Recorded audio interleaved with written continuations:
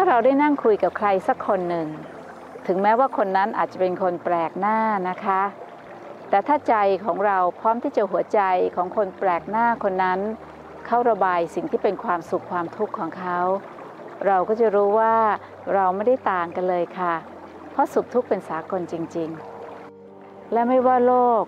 จะเปลี่ยนแปลงหรือมีความแตกต่างหลากหลาย เราก็พบว่าในที่สุดแล้ว มนุษย์ทุกผู้คนก็แค่มาแล้วไป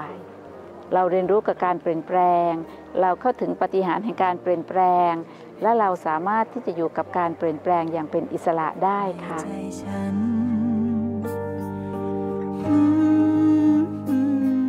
ใครที่คิดยังมีอวิชชาครอบงำผลของความคิดก็จะนำไปสู่ความทุกข์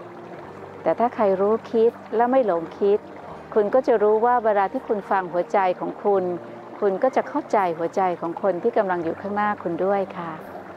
ความเข้าใจที่มีความรัก และความศรัทธาในการที่จะไม่ทำให้การกระทำของเราสร้างความเจ็บปวดให้แก่กันและกันอีก จึงทำให้การพบพาครั้งนี้สำคัญนัก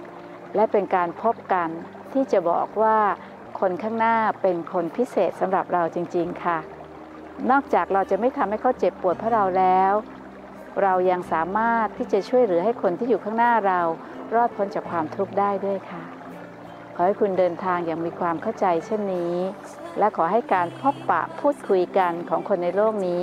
จะนำมาซึ่งสันติภาพ และความเข้าใจในการละกันนะคะ ธรรมะสวัสดีค่ะฉันมีความสุขร่วมธรรมะสวัสดีโดย MK Restaurant อืม